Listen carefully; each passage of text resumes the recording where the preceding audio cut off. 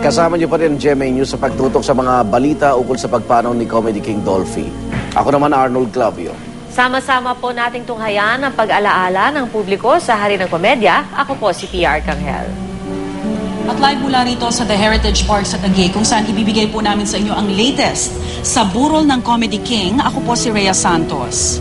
Tututukan po natin ang public viewing sa labi ng Comedy King na magsisimula maya-maya lamang. At bago nga po mag alas 4 kaninang madaling araw, ay ah, naibalik dito ang labi ng ating Comedy King mula sa isang ah, maigsing ah, public viewing na ginanap naman sa Dolphy Theater dyan sa ABS-CBN compound sa Quezon City. Dito po sa mortuary ng ah, The Heritage Park sa Taguig, nakalagak po ngayon ang labi ng Comedy King na si Dolphy at ah, ayon po sa mga nakalap nating impormasyon, naririto na po ang ilan sa kanyang mga anak. Kasama po dyan si Manny Boy Quizon, si Direk Eric Quizon, Ronnie at Rolly Quizon.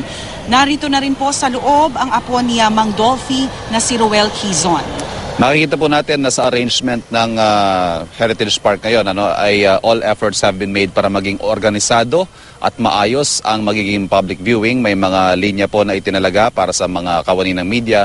May ka- linyang itinalaga para naman sa mga taong inaasahang dadagsa simula alas 8 ngayong umaga para masilayan sa huling pagkakataon ang iniidolong King of Comedy. Ngayong araw po mabibigyan muli ng pagkakataon ng mga tagahanga ni Dolphy ang publiko na bisitahin po ang kanyang labi. So pagsapit po ng alas 8, inaasahan nga po natin na magkakaroon na po ng pila ah, dito po sa loob ng The Heritage Park para makapagbigay po sila ng kanilang huling respeto at pagpupugay sa Comedy King.